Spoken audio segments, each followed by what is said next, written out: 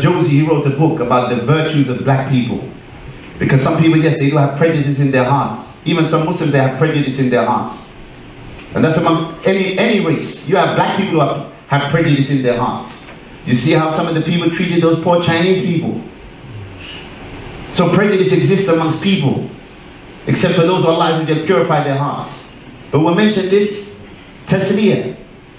You don't have to resort to nationalism to prove what your people or your race has done.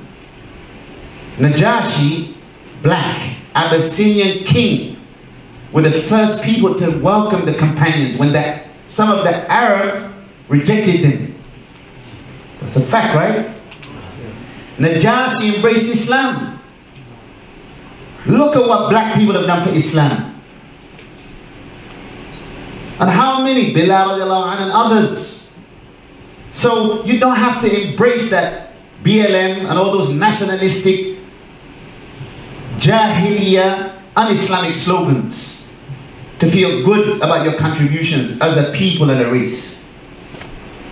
You have examples in the history of Islam that a black king was the one who gave the Muslims sanctity and refuge at a time when the pagan Arabs were trying to kill them and persecute them.